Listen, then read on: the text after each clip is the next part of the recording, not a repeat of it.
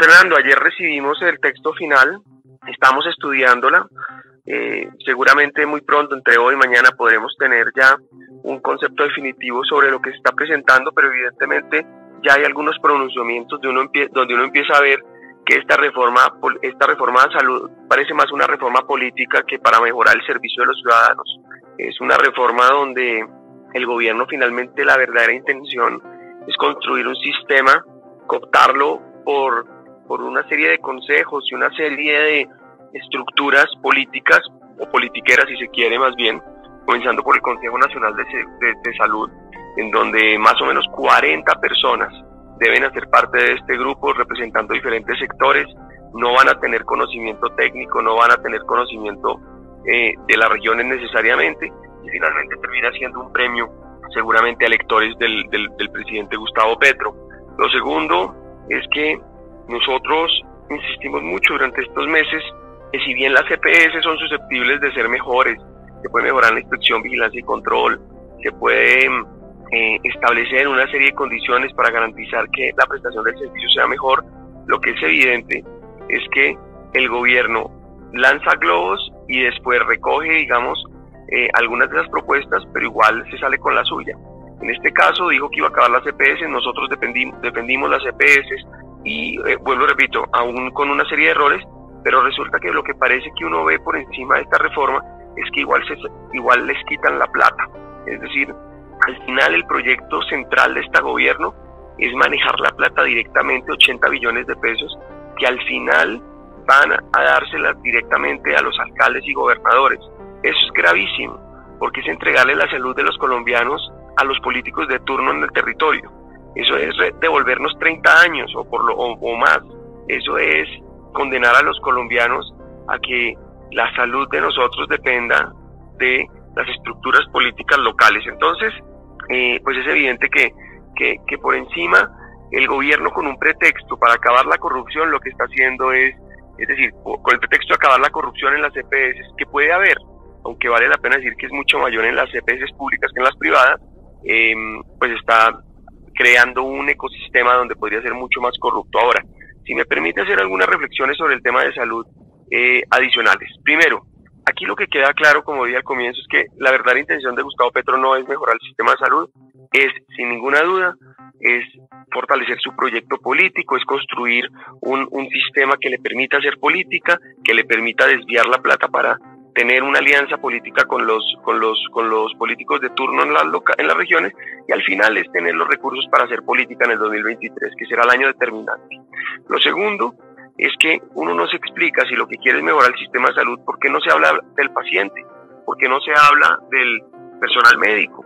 Aunque estuve viendo eh, la reforma, se, por ejemplo, hay algunas menciones a un, al régimen laboral de salud, pues uno lo que ve es que la propuesta del gobierno va a ser muy difícil de aplicar porque lo que quieren es aplicar el mismo régimen de salud público, el mismo régimen laboral público al, al sistema de salud. Eso va a ser imposible la contratación de los de los eh, del personal de salud.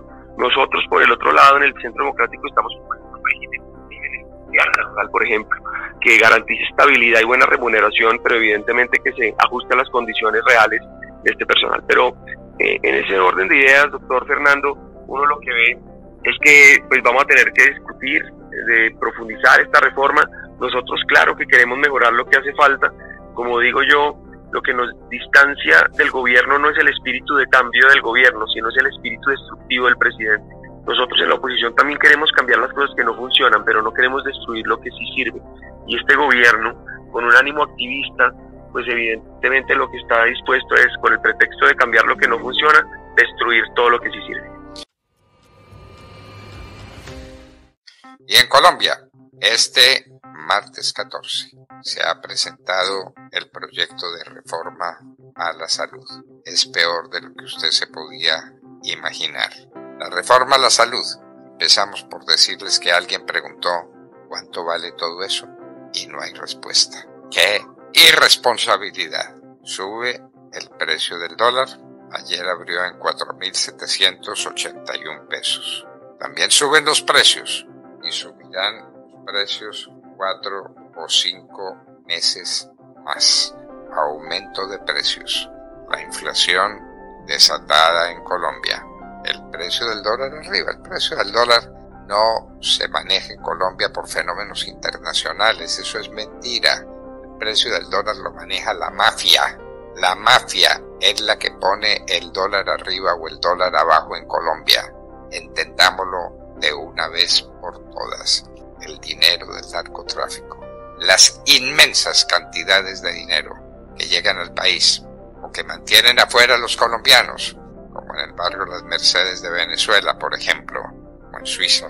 Se dice que en Suiza, Suiza no dice una sola palabra, hay dinero muy importante de mafiosos colombianos. Y llega a Colombia el dinero que ellos quieren que lleguen para poner el precio del dólar en el sitio que les convenga, en el sitio que les importe. ¡Qué horror! Cargos contra Carlos Caicedo, el gobernador del Magdalena, por celebración indebida de contrato. Agoniza un músico de la Filarmónica de Bogotá por asalto llegando a su residencia.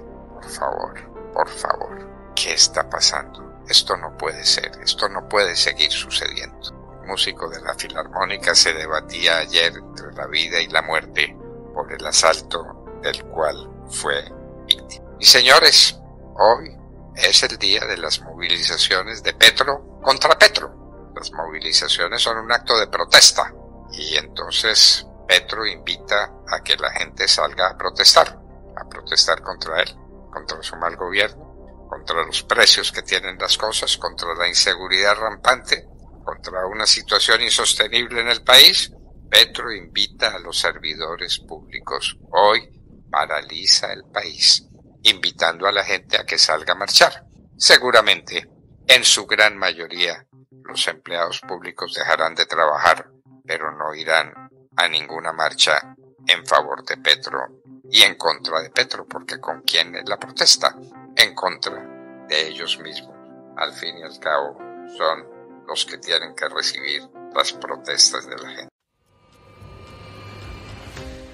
Dice la ministra que las EPS no curan sino que facturan. Mentira, ministra. No es cierto, no es verdad. Las EPS no facturan mucho. En este país, más o menos las EPS se ganan el 2% y hay muchas que pierden plata porque el gobierno les paga tan tarde que cuando van a recibir la plata ya se los han comido los intereses de tantos recursos. Pero además hay un tope máximo de lo que pueden cobrar, 3.5. Y no es cierto que las EPS no cubran. Porque fíjese cómo están de contentos los colombianos. Gracias a Dios que tenemos este régimen subsidiado y es una bendición para uno.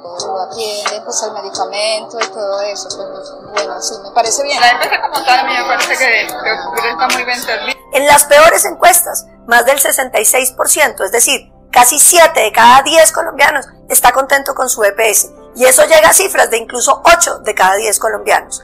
El 76% de los colombianos, es decir, 7 de cada 10 dice que le gusta su EPS, que se quiere quedar ahí y que lo están atendiendo pronto. Me brinda el sistema de salud y eso ha mejorado mi calidad de vida. Si eliminan esa EPS quedamos en el aire. Ministra, en vez de estar buscando los daños de la salud donde no están, ¿por qué no combate la corrupción que se roba nuestros hospitales? ¿Por qué no combate la demora del pago del Estado a las EPS, que es lo que hace que no se le pague a los hospitales y a las clínicas a tiempo? ¿Por qué no combate el tema del salario de los médicos y de los especialistas que tiene precarizado nuestro sistema de salud en términos de los beneficios que reciben los médicos y las enfermeras? Ayude a mejorar el sistema, construya sobre lo construido.